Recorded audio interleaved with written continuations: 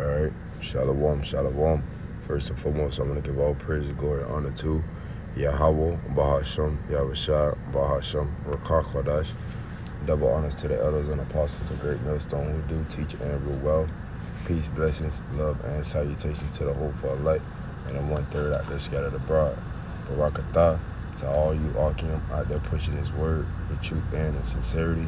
Barakatham to all you Arkwathium out there that is listening in and the true believers of Yahweh Shemal Shah. This is brother Chaasad Gadal coming at you with a quick hit and a quick testimony on a dream that I had, all right, out of the prophets in Babylon camp, all right, here in Tampa, Florida. All right, Yahweh being who the word English calls God, Yahweh Shah being who the word English calls Jesus Christ. Straight to the point, here the lambs and the lost sheep of the house of Israel. All right, so in this dream, you know, I had, it was me and all of the brothers from the prophets in Babylon camp. And we were all at camp, right? We were all at camp. And we was, you know, we we started seeing we started seeing officers coming down coming down the walkway. And they was stopping people left and right, asking them if they had, you know, their juice card. All right. And at the time, all the brothers, you know, the head of our camp, he said, you know, brothers just be circumspectly, you know, be circumspectly and basically abide by what they ask you. They tell us we got to pack up and leave, we pack up and leave. Because we had already knew through the spirit they wasn't coming down there to really look for people juice card. They was coming down there to, to mess with us, man. You see? And so you know, they, they got to us and they told us that we needed to pack up. We needed to get our things. So mind you, Salakia, mind you this, you know, most brothers, you know, they know they know what a courthouse, they know what a courthouse looks like. You know, some brothers, you know, in their past life when they was in the world, they may have know what a holding cell looks like. They may know what it feels like to be in the back of one of those one of those those police cars or one of those vans, man. And uh, just sure enough, you know, when we got out, when all of us got into the got into the van, they all handcuffed us. They got us to the van, and they put bags over our heads, man. You see, they put bags over our heads, and while we're in there, the second head of our camp, you know, brother two, he. Um, he started we he, he he started saying a prayer, you know, and then we all started giving praises to Yahweh Bashim Yahushua. And at this time, we're driving, and I'm like, hold on. I know these streets like the back of my head, man. You know, I know exactly where we're at. So we're not going downtown. We're not we're definitely not going to a station. So where are we going?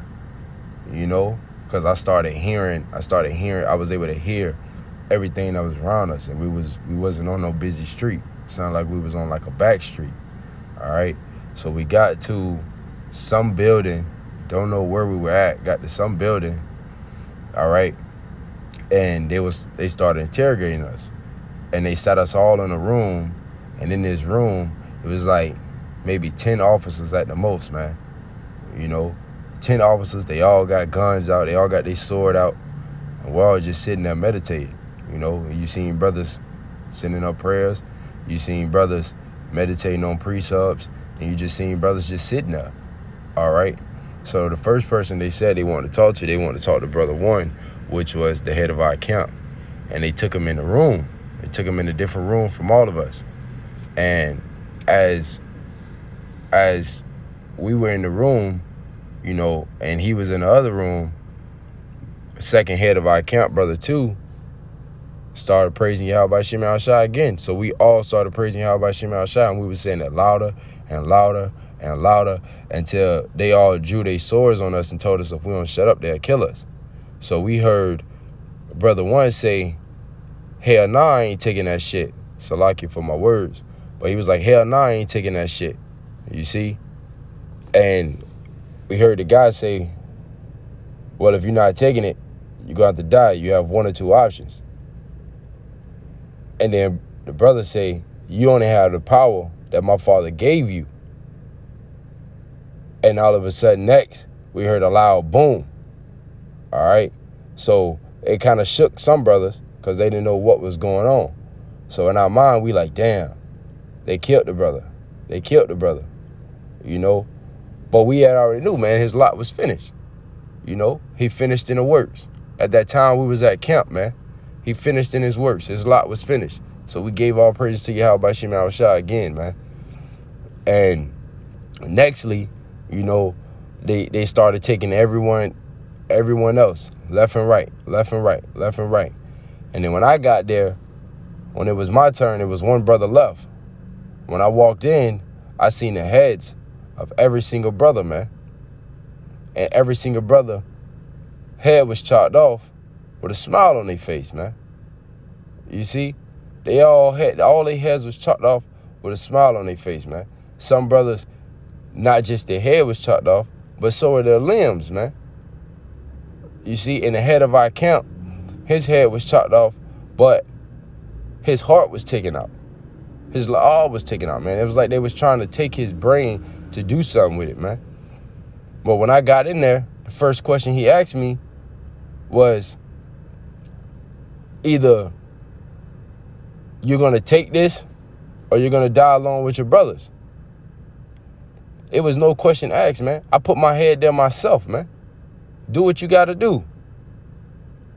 And I hear my phone vibrate. I'm hearing my phone, you know. The woman calling me. She don't know what's going on, you know. But either way it went, I knew what it was time. I knew what I, I knew what this truth brings us, man. Just like this scripture that I'm about that I'm gonna bring out. You know? So he chopped my head loose. Boom. I'm gone. You know? Now I'm with now I'm with the Heavenly Father Yahweh. You know, back in the spirit realm. And it was crazy because this part right here is what is what is what uh is what really got me in my dream, man. The last brother who went and we all heard him through the spirit say, My brothers has finished their lot, man. And they all died with a smile on their face. Kahala, Yahweh, Ba'asham, Yahweh Shai, Ba'asham Rakakwadash, man. All through the spirit, we heard the brother calling upon the Lord, man. And that brother died, man. That brother died. You see? And like this scripture I'm going to bring out is Revelation chapter 2 and verse 10. It says, Fear none of those things which thou shalt suffer. Behold, the devil shall cast some of you into prisons, that ye may be tried, and ye shall have tribulation ten days. Be thou faithful unto death, and I will give thee a crown of life. Right, man? So, brothers, we got to start understanding it's about to come to a time where it's either going to be life or death.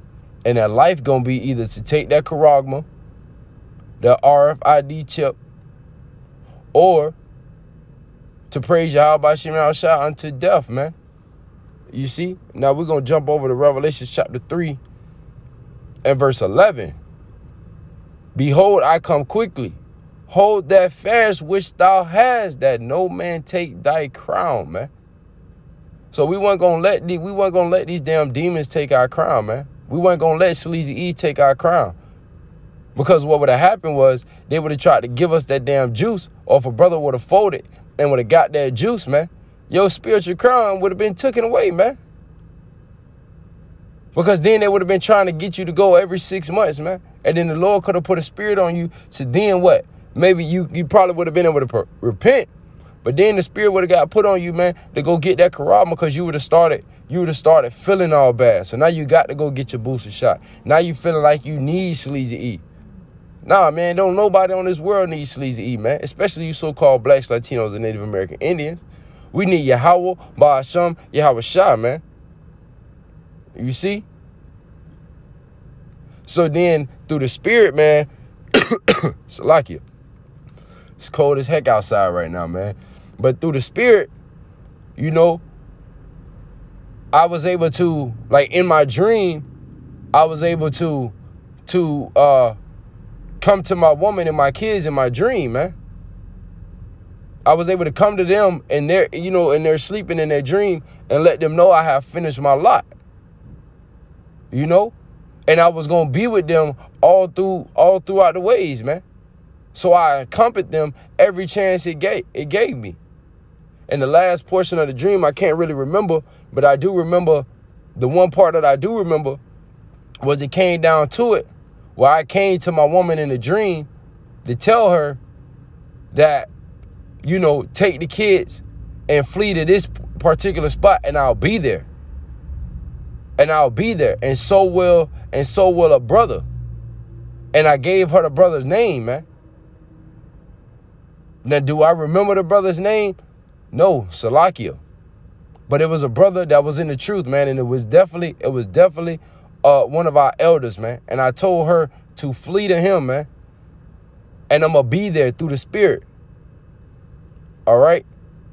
So this is just a little quick testimony and dream, man. Let me, and it, and it gave me, it gave me more fear than what I've already had, man. When you brothers out there, when you have dreams, or even when your woman have dreams, man, do a lesson on it. Don't wait on it. Do a lesson on it. Because your woman can have dreams and that she should be telling you, and then you women out there, if you have a dream, you should be telling your man about your dream, man. Especially if he's a man of the Lord. Because then he'll know whether or not that dream is to is to discern you or if that dream is for a edification lesson, man. To keep brothers going. All right? So hopefully this video was edifying to you. If it was edifying to you, then to be edifying to the elect. I want to give all praises, glory, and honor to Yahweh Bahasham, Yahweh Shah, Bahasham, Rakar for giving me the spirit to do this lesson. Double honors to our elders and our apostles of Great Millstone who do teach and rule well. Peace, blessing, love, and all salutation to the hopeful elect and the one-third out there scattered abroad. Shalom, shalom, abal, babal, Qam Yasharahla, peace, Israel.